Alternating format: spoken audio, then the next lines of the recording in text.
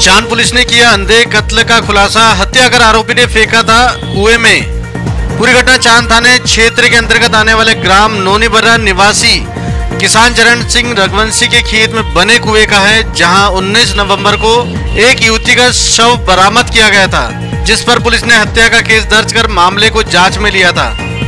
Police अधीक्षक के मार्गदर्शन में जब जाँच शुरू की, इस अंधे हत्याकांड का खुलासा हुआ। इस दौरान कुछ लोगों से पूछताछ की गई तो उन्होंने बताया कि गोलू, उर्फ़ सुशील यादव, पिता भागचंद यादव, निवासी नौनी बर्रा, जो कि काजल पर बुरी नियत रखता था, जिसका विरोध काजल के द्वारा किया गया था। इस पर नाराज़ गोलू ने तेईस सितंबर को रात काजल की बेरहमी से हत्या कर शव को पत्थर बांधकर कुएँ में फेंक दिया था। जब पुलिस ने आरोपी गोलू को गिरफ़्तार कर पूछताछ की तो उसने जुर्म कबूल किया, जहाँ पुलिस ने आरोपी को न्यायालय में पेश किया गया। सिटीएन बारह से विनोद माहौरी की रिपोर्ट, चाँद। ग्राम नोनीबर्रा में खेत में एक कुआँ है, पुराना कुआँ है, कच्चा कुआँ है। इसमें करीब दो माह पुरानी लाश मिली थी। इसकी पूर्व में ही थाने में गुमनिशान कायम था।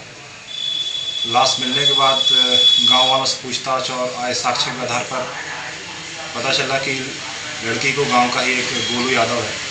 वो बुरी नीयत से दिखता था।